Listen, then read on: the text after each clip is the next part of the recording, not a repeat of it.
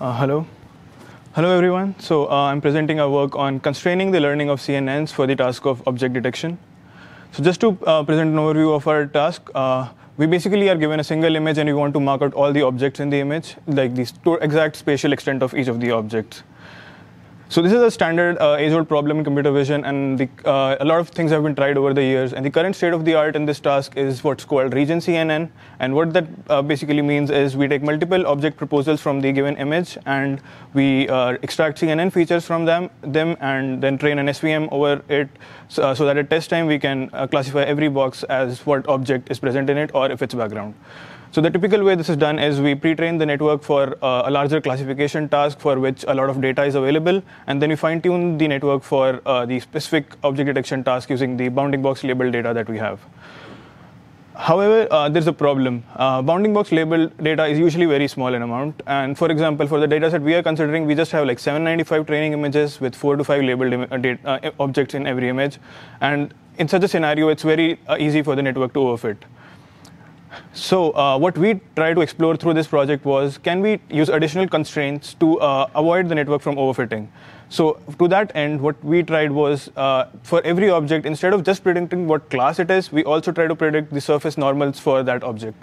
So we hope that uh, using that, uh, using this additional constraints, the lower, the lower uh, layer um, feature, the lower layers of the network will learn a better representation that will be better both for classification as well as for the surface normal prediction.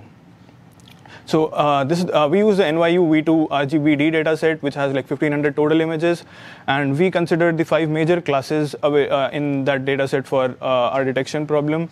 Uh, so the dataset comes with semantic labels, which we use to uh, generate the bounding boxes, and it also comes with depth labels, which we use to convert into surface normals and hence get a 3D representation for the objects.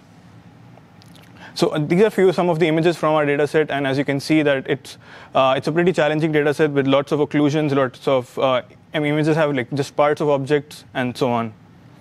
So this is the network architecture we use. We uh, it's basic. It's based on AlexNet, and we added an adi- additional uh. So it has com- it has shared convolutional layers, and it has separate uh, fully connected layers for both predicting the surface normals and for object labels. And we trained jointly using both the uh, we trained both the net uh, both the streams jointly.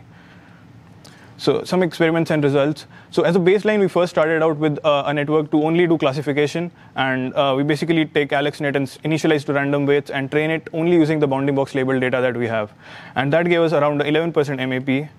Next, we, we instead of starting with a randomly initialized model, we started with uh, a network which was pre-trained on a task of predicting surface normals itself, and uh, so and that gave us like a 1% boost in MAP. Next, we tried out using. Um, uh, next, we tried out uh, pre-training the network for a even, I mean, for an even strongly labeled task of image classification on ImageNet, and the, uh, and since that is trained using semantic labels, that gave us around a three percent boost in MAP.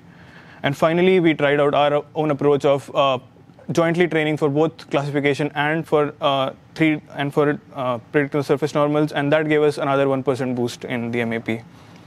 So just to qualitatively see uh, what, what's really happening here, uh, these are some of the images what, uh, which we observed were doing well with 3D and were not were not being able to. Uh, so this is for specifically for bed detection, and uh, we can see that the, using the 3D information actually helps a lot, and we feel that's probably because uh, the model is able to encode some 3D structure of the bed in order to do these detections.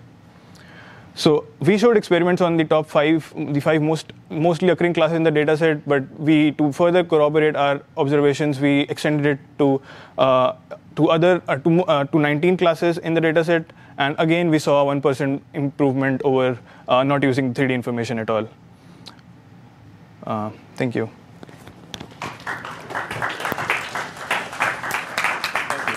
Okay, next speaker, please come up.